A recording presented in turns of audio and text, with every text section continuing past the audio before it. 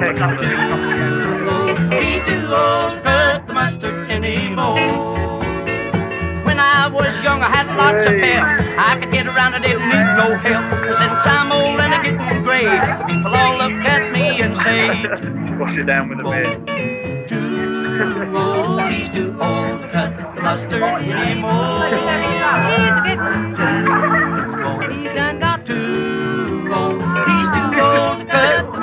Anymore.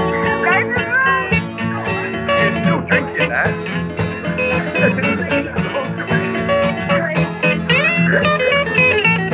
I used to could jump just like a deer, but now I need a new landing gear. I used to could jump a picket fence, but now I'm lucky if I jump an inch.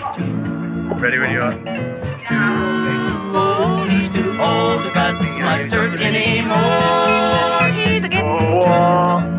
Darren, Darren, Darren, look, Look, old to cut the look, look.